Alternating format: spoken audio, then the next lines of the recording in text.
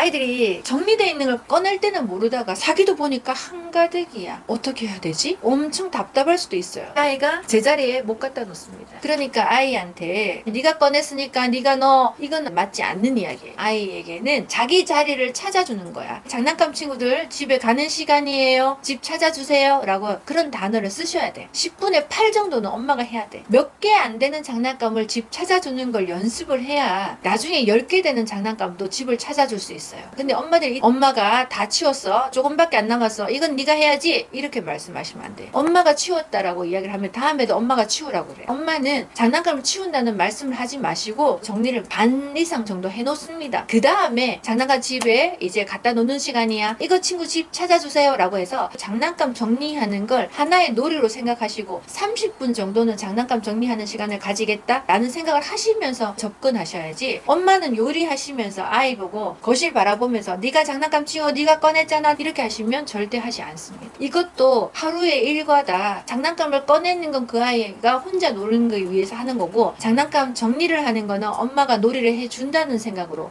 특별한 뭔가 교구를 꺼내서 놀이를 만들려고 하지 마시고 매 생활 속에서 하나하나 하나를 놀이로 이용하시는 게 아주 좋습니다.